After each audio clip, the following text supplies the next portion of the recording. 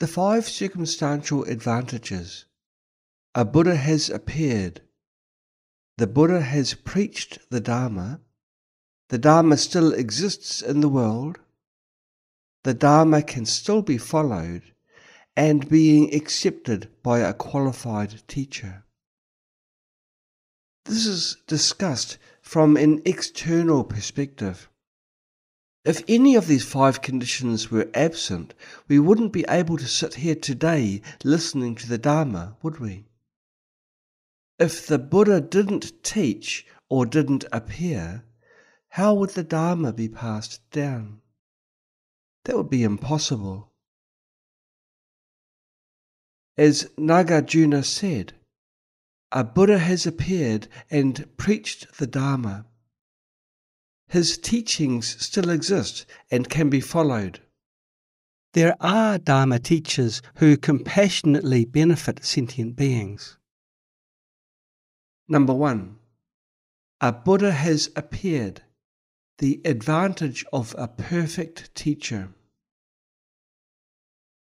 If one is born in a dark kalpa in which no Buddha appears, they wouldn't even hear of words like Guru, the three jewels, the Four Noble Truths, and the twelve links of dependent origination. But now we are in a kalpa in which the Buddha has appeared, so we have the advantage of a perfect teacher. In some kalpas, there is no Buddha appearing at all. In our good kalpa, there are 1,000 Buddhas appearing. In dark kalpas, no Buddha appears at all. During that period, no one attains liberation and all beings remain trapped in samsara. In the following, we will analyze how rare it is for a Buddha to come to the world by checking the situation in the past, present, and future. Some people may think it's easy for a Buddha to appear, but in reality, it's not that easy. Humans are like this. They don't realize their blessings when they are surrounded by blessings, and they don't appreciate what they have. If you were born in a kalpa without a Buddha appearing, you would be lost in ignorance, not knowing about the Dharma and its preciousness. The Lotus Sutra says, It is rare and hard to encounter a Buddha coming to the world. Rare means it takes a very long time. The Mahaparinirvana Sutra also states First, it is difficult for a Buddha to appear. Second, it is difficult to obtain a human body in countless kalpas.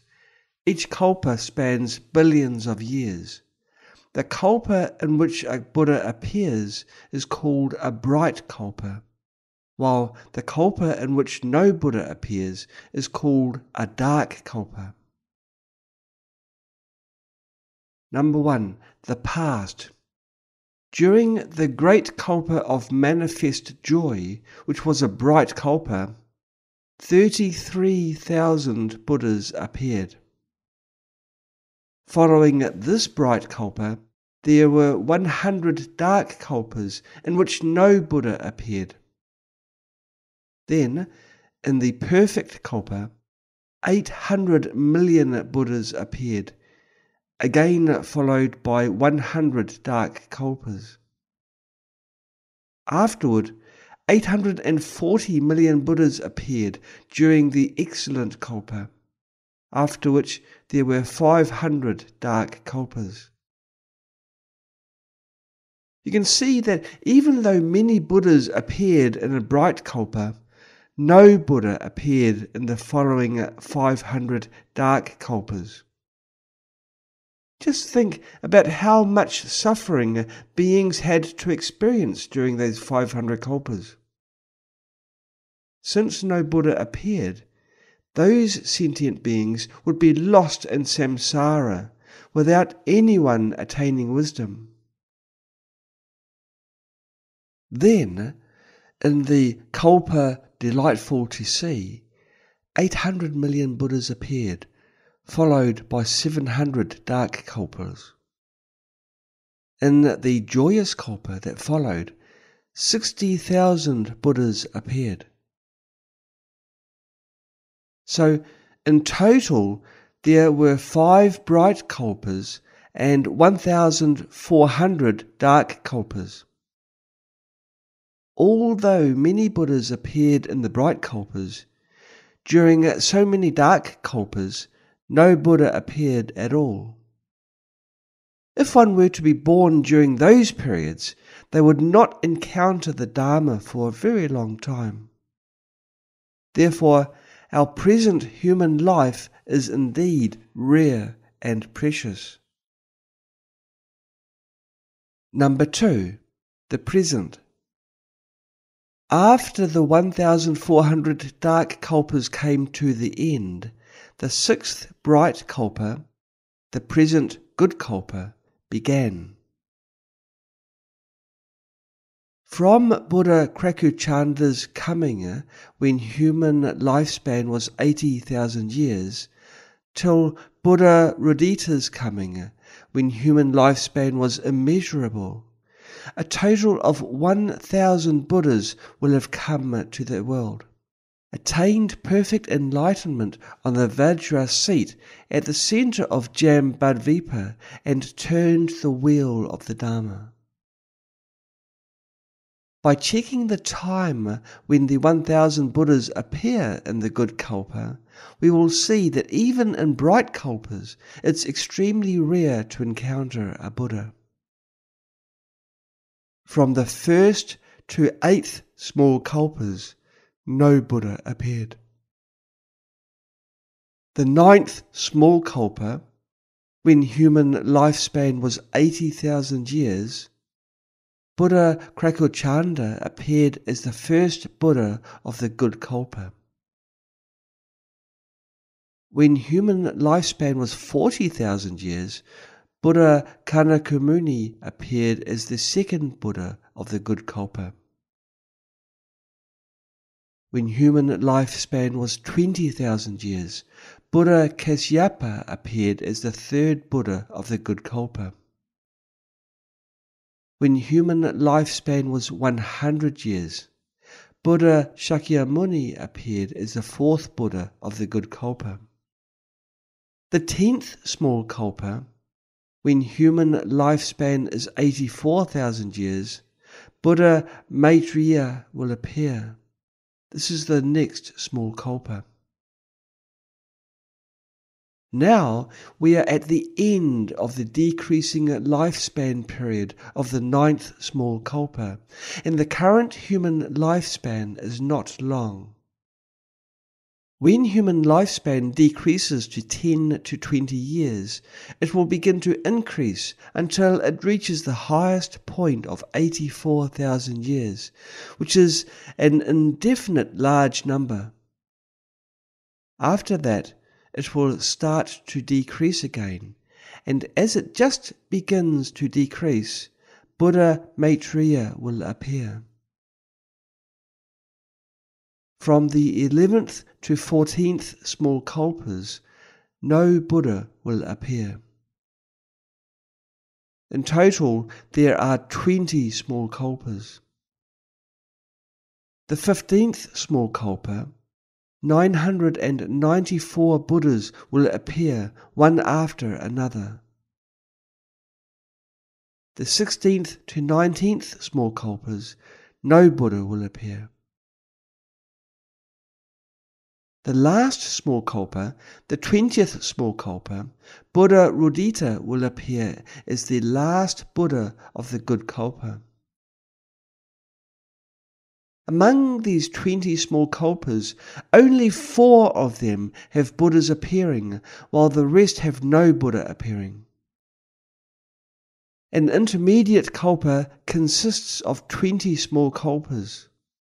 A great kalpa consists of four intermediate kalpas formation, existence, destruction, and emptiness. Buddhas can only appear in the intermediate kalpa of existence. During the intermediate kalpa of formation, no Buddha appears. Even sentient beings are nowhere to be seen. Now we are in an intermediate kalpa of existence, which consists of 20 small kalpas, during which 1,000 Buddhas will appear. Following the intermediate kalpa of existence, there will be the intermediate kalpas of destruction and emptiness, during which there will be no Buddha and not even a sentient being. A great kalpa consists of four intermediate kalpas formation, existence, destruction, and emptiness, while an intermediate kalpa contains 20 small kalpas. So, a great kalpa consists of 80 small kalpas. Buddhas can only appear in the intermediate kalpa of existence but won't appear in the other three intermediate kalpas. Moreover, even in this intermediate kalpa of existence, Buddhas only appear in four of the small kalpas. So it takes countless years for us to encounter a Buddha. How long do we need to wait for Maitreya Bodhisattva to come? Some books say it will be 5.6 billion years later, but this number should be wrong. 5.6 billion years later, the earth will have long ceased to exist, and even the sun would have burned out, so it's impossible for a Buddha to come at that time. One by one, the eight planets have life on them. Currently, there are living beings on Earth. However, the Earth is gradually moving closer to the Sun. As the Earth's temperature rises, living beings will migrate to Mars, where the temperature will be similar to Earth's current temperature. The planets are all moving closer to the Sun. As the Earth completes one orbit, it gets a little closer to the Sun. This is confirmed by scientists' measurements. The Earth's temperature is gradually increasing, and in many thousands of years, all life on Earth will have perished. Currently, life after some time, uh, no life will survive near the equator. Eventually, life can only survive at the north and south poles, while the temperature in other areas will be too high, 70 to 80 degrees, for any life to survive. In the end, the entire Earth will become uninhabitable, where no living being can survive. Living beings are migrating uh, towards the poles. In the beginning, uh, there were many living beings near the equator. There are three types of kalpas small kalpa, intermediate kalpa, and great kalpa. Every hundred years, the average human lifespan increases by one year until it reaches the maximum. Then, every hundred years, the average human lifespan decreases by one year until it reaches the minimum. This period of increase and decrease constitutes a small kalpa. Now we are in the decreasing period of the ninth small kalpa of the existence intermediate kalpa of the good kalpa, and the current human lifespan is 100 years. The decrease begins from the time with the longest average lifespan. the lifespan decreases by one year every hundred years, from 84,000 years down to 10 years.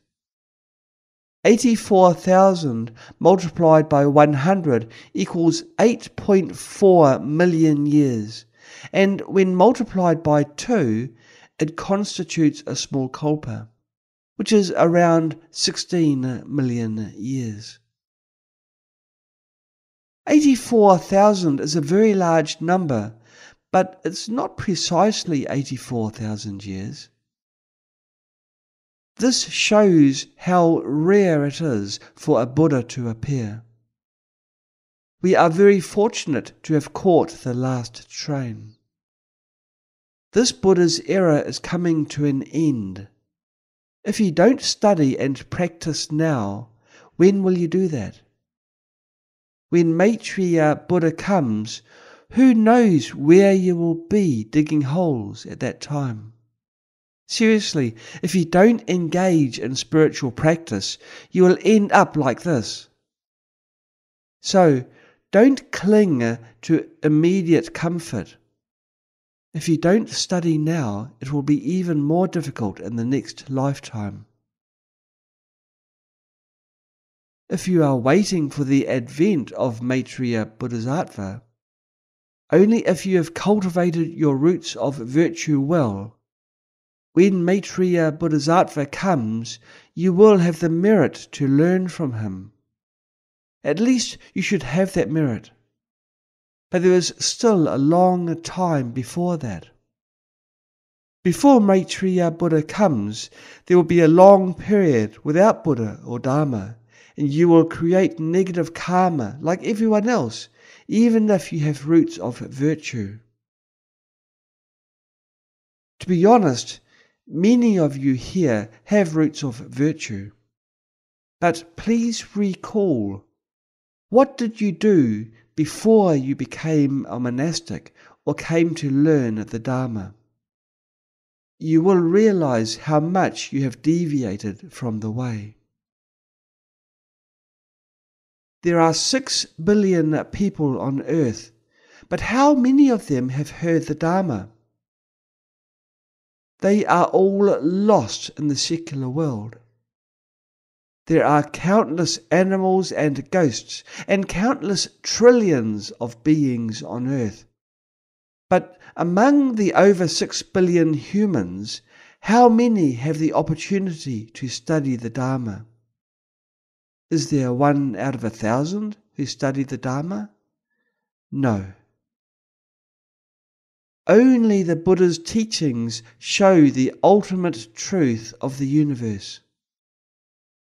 If we realize this truth, we can attain complete liberation and transcend the three realms. Not to mention transcending the three realms, at least we should know that there is a path to transcend the three realms. And this path is the only one. Only the Buddha knew it, and he had imparted it to us. The Buddha also taught us the Bodhisattva path, through which one can not only transcend the three realms, but also return to them, coming and going freely. In other words, neither coming nor going, in a free state. The Buddha's Bodhisattva path is higher than the Arhat path. The Arhat path is about transcending the three realms, while the Buddha's Bodhisattva path returns to samsara out of compassion. Bodhisattvas come and go freely, neither coming nor going, which is a higher state. Number three, the future. After the good kalpa, there will be 60 dark kalpas. After that, in the kalpa of vast numbers, 10,000 Buddhas will appear. After the good kalpa, there will be 60 dark kalpas without any Buddha appearing. And then there will be a kalpa in which Buddhas appear. Then there will be 10,000 dark kalpas. In these 10,000 kalpas, no Buddha will appear. During these hundreds and thousands of kalpas, no Buddha appears at all. Why does it happen like this? Why doesn't the Buddha appear in those kalpas? Because the conditions are not ripe. Sentient beings have too many pleasures to enjoy, so they are not willing uh, to engage in spiritual practice, or they are too ignorant. There are too few beings like us now who experience the mixture of suffering and happiness and have the opportunity to seek the Dharma. Hence, the Buddha cannot appear. So, what does the Buddha do during these dozens of kalpas? The Buddha is always present. Don't think that he is absent. Although the Buddha doesn't appear, he is always helping sentient beings. How does he help them? By nurturing their roots of virtue. The Buddha is actively working to nurture and accumulate their roots of virtue. After accumulating for dozens of kalpas, the conditions gradually ripen. In other words, among a countless sentient beings, when the Buddha finally finds some of them who are willing to learn the Dharma and nurtures them, he will appear, holding some grand Dharma assemblies and liberating a large number of people. This is what we call the Buddha's coming. In reality, the Buddha is always present. How could he ever be absent? The Buddha is present at all times.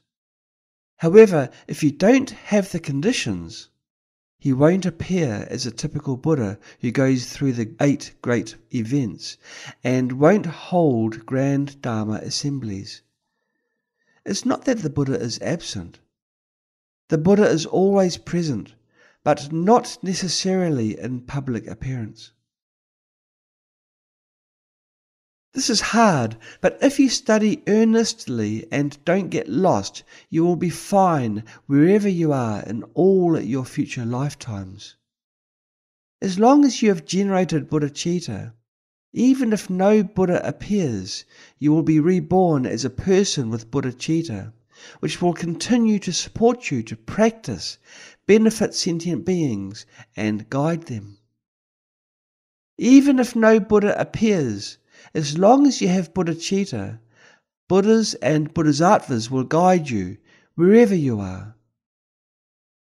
Buddhas won't necessarily come to expound the Dharma Buddhas and Bodhisattvas are always present and never enter nirvana.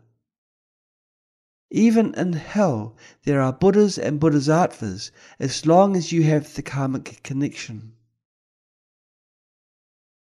Even if no Buddha appears, as long as you have cultivated good roots of virtue, you won't be afraid wherever you go. If you have cultivated bodhicitta well, you are an heir of Buddhas, and Buddhas and Bodhisattvas will always accompany you, never leaving you till you attain Buddhahood. As long as you have generated bodhicitta, Buddhas and Bodhisattvas will never leave you. However, if you haven't generated bodhicitta, this won't be possible. Now that you have understood this truth, you should cherish your precious human life. Without vastly accumulating merits in the past, you won't obtain a precious human life in such a good time. In your past lives, you have planted roots of virtue in front of many Buddhas and accumulated vast merits enabling you to encounter the Dharma and obtain this precious human life. Therefore, you should diligently learn, meditate, and practice the Dharma, and don't miss the opportunity to liberate yourself and others. To study the Dharma, one must obtain a precious human life. After studying the eight freedoms and ten advantages, you should review them and bear them in mind. Otherwise, if you forget, you will slack off. You may consider life long and then aimlessly spend your days and waste your time. You should seize the time to generate bodhicitta, and then everything that you do will be easier. When you work, you are also cultivating your bodhicitta. You should turn everything that you do into an expression of your bodhicitta, which is practicing bodhicitta. If you have generated bodhicitta before doing things, your bodhicitta will grow. So, it's best to generate bodhicitta before doing anything. Then, wherever you go, you won't be afraid. Moreover, you can go to any world. Once you have generated bodhicitta, it won't be difficult for you to go to the Pure Land. You can go there with just one thought. You don't even need ten thoughts to go there. Just one thought is enough. Truly, I tell you, as long as you have qualified faith aspiration, and bodhicitta, you can go there by simply chanting Amitabha once. With a single thought, you can go there.